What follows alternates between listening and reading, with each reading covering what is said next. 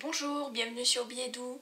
Alors, je vous retrouve aujourd'hui pour notre, projet du mercredi. Vous le voyez, cette fois-ci, ce n'est pas une carte, c'est euh, un objet de homme déco, une couronne pour l'automne. Voilà. Qui est réalisé avec les tampons Pop of Petals. Et ici, la fleur, euh, c'est la fleur, la feuille, c'est de l'origami. Elle est réalisée avec le papier chemin de campagne. Donc je vais vous montrer tout de suite comment on réalise cette belle couronne. Vous aurez besoin d'une couronne en polystyrène. Donc la mienne fait 21 cm de diamètre. Vous pouvez bien sûr choisir plus grand si vous le souhaitez. Euh, il va également vous falloir de la toile de jute. Alors, je ne vous donne pas une dimension précise puisque ça va dépendre de la taille de votre couronne. Vous allez couper des bandes avec cette toile de jute et avec euh, votre, votre pistolet à colle, vous allez venir enrouler ces bandes autour de la couronne jusqu'à la recouvrir complètement. Il va également vous falloir des petits carrés de papier à motif. Donc ici, c'est encore un un papier de, de la collection Chemin de campagne. Voilà, un côté violet, un côté à motif. Ici, je vais essayer avec le côté à motif. J'ai envie de voir ce que ça donne. Une feuille, euh, la feuille d'érable avec ce côté-ci. Donc, il vous faut trois carrés de 7 cm et demi et deux autres carrés de 6 cm. On va commencer tout de suite, donc je vais venir enrouler ma toile de jute autour de, ma couronne et je vous retrouve juste après.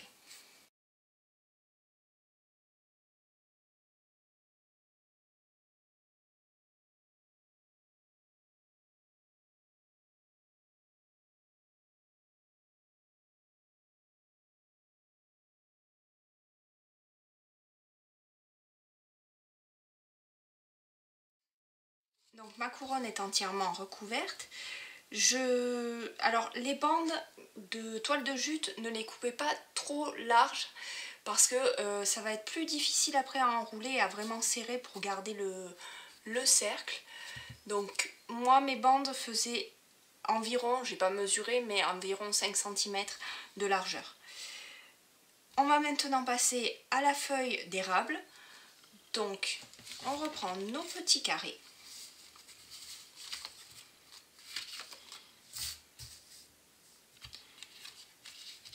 On va venir plier l'un sur l'autre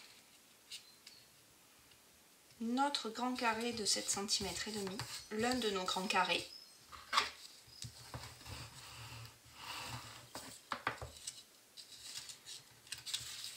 On rabat ensuite sur le pli que nous venons de faire.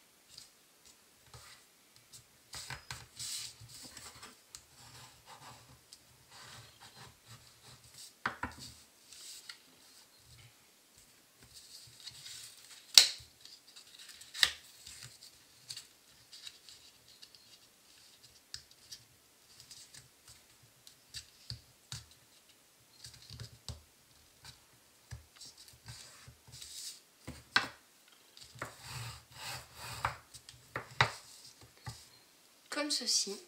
Ce triangle qu'il vous reste, alors petite précision, le, le motif que vous voulez avoir doit être sur le dessous de votre feuille lorsque vous commencez le pliage.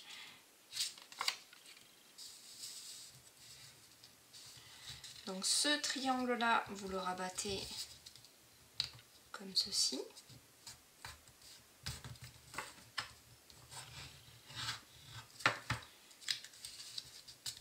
Vous réouvrez et vous cachez le triangle à l'intérieur. Vous venez ensuite plier ce petit côté là sur le milieu. Vous faites pareil de l'autre côté.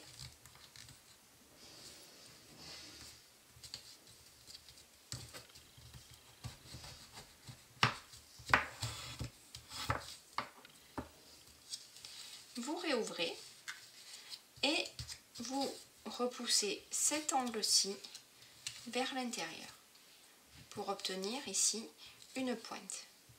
Donc on réouvre, l'angle qui est là, vous le repliez à l'intérieur.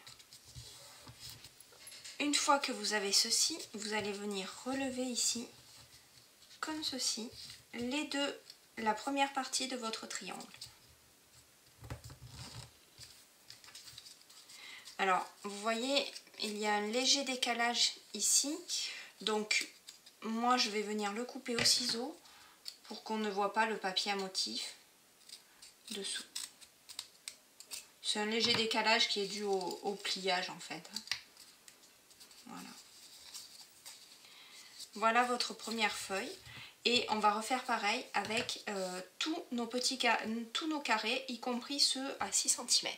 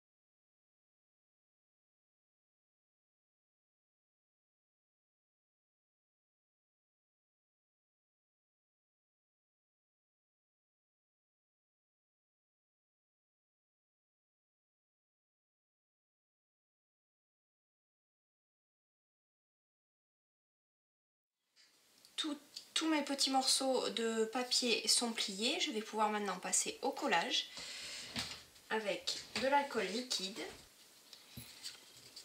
Alors, vous allez choisir un de vos carrés et vous allez venir, la feuille va venir se coller en fait comme ceci,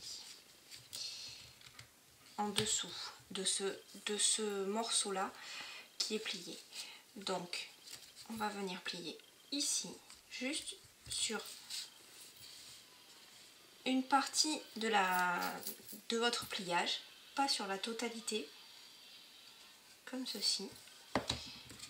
Et celui-ci va venir se superposer ici. Alors pour vous aligner, vous alignez ici l'extrémité au pli qui est au pli central de votre, de votre feuille.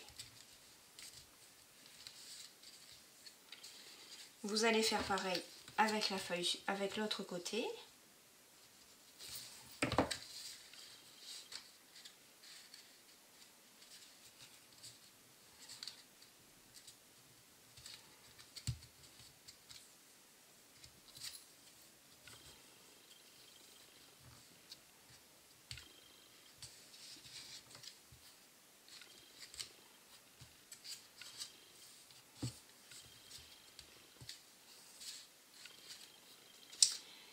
Ces deux petites extrémités euh, vont venir se coller en dessous, comme ceci. Et elles vont s'aligner. Alors elles par contre vont... Le, le losange que vous avez là va être entièrement collé sous le gros losange de l'autre morceau de feuille.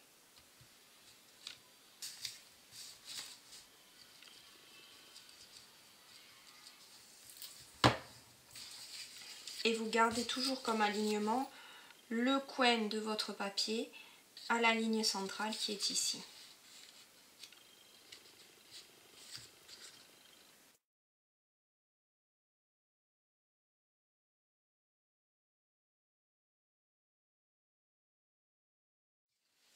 avec une chute de macaron à la menthe, donc que nous allons recouper à 2 cm.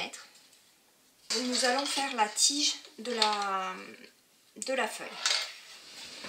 Donc vous avez une bande ici de 2 cm de large. J'ai marqué un pli à 1 cm et je vais rabattre les deux côtés l'un sur l'autre, les coller.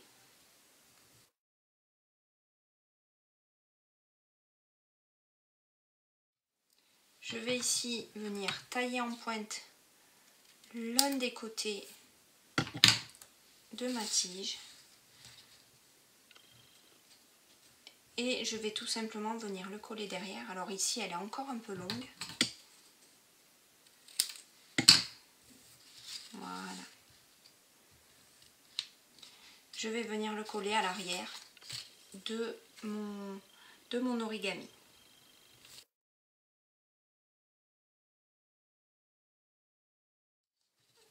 Alors comme on va le coller sur une, couronne du coup qui a une forme arrondie, euh, tous ces petits pics en fait qui en soi ne, gênent pas mais qui sur la couronne vont, vraiment ressortir et, et je trouve que ça fait moins joli, on va venir mettre un petit point de colle derrière pour qu'il plaque bien contre le contre l'origami et qu'il ne lève pas comme ça sur, le, sur la couronne.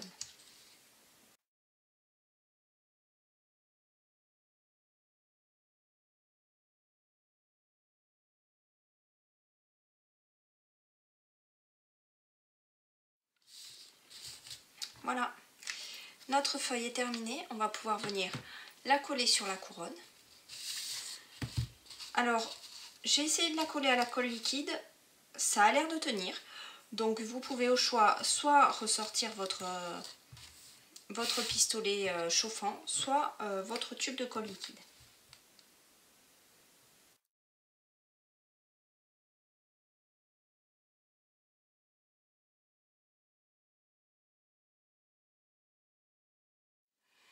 On va maintenant venir tamponner nos fleurs issues du set de tampons Pop of Petals. Alors, il va vous en falloir une petite dizaine qu'on va ensuite venir répartir sur, la couronne. On va les réaliser en carré moulu.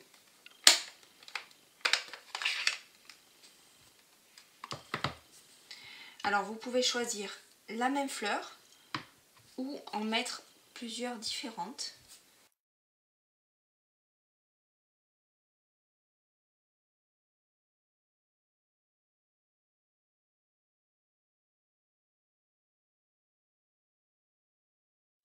Pour apporter une petite nuance dans les tons jaune orangé, je vais utiliser mon punch à l'ananas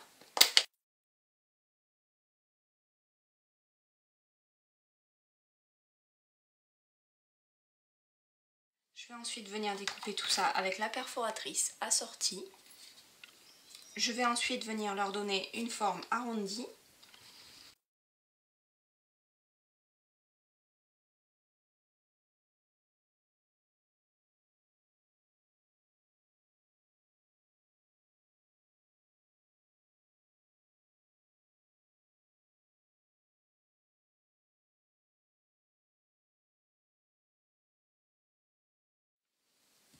Une fois que c'est fait, vous allez également pouvoir venir découper du feuillage.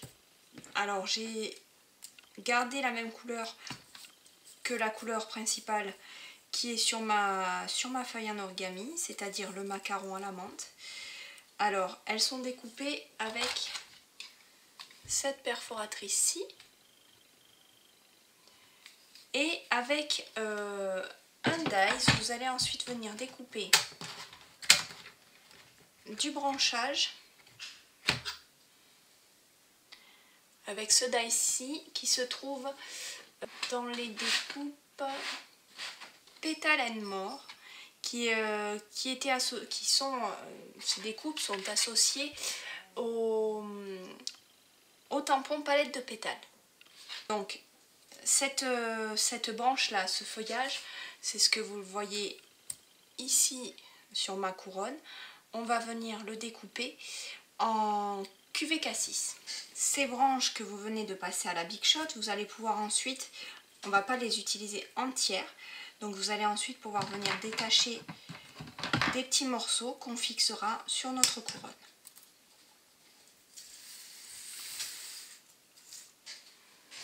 On reprend notre couronne, notre pistolet à colle et on va venir commencer à coller nos fleurs.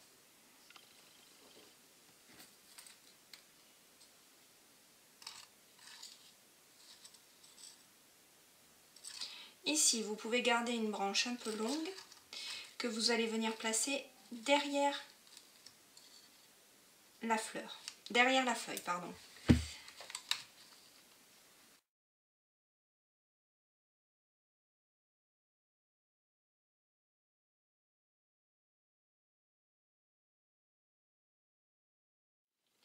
Vous positionnez les fleurs comme vous le souhaitez, en associant à la fois du feuillage, une fleur,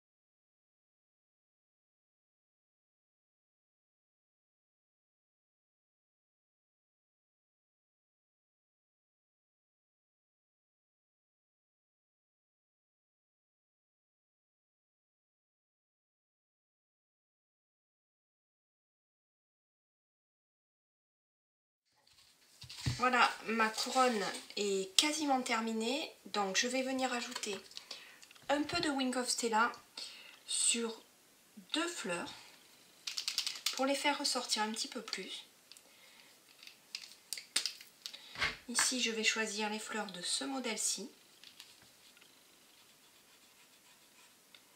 Alors, ce que j'aime bien, c'est qu'en plus là, dans le cas que nous avons ici, ça va étaler un petit peu la couleur de mon tampon.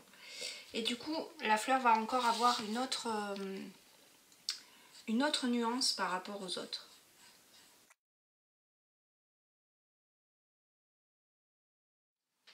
Alors, je ne sais pas si vous le voyez, mais du coup la fleur est, est d'un jaune beaucoup plus, plus clair.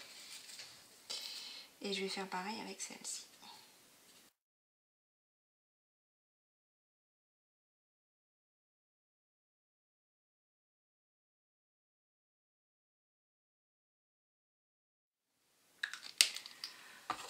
Et enfin, je vais revenir rajouter dans certaines fleurs ces gemmes à facettes dorées qui vont apporter la touche finale.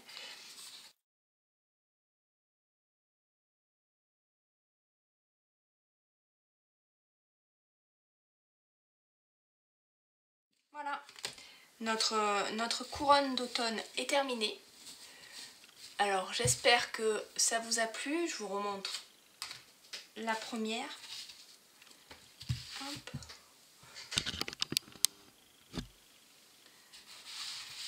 Voici nos deux couronnes avec une feuille d'érable en macaron à la menthe et une en carimoulu.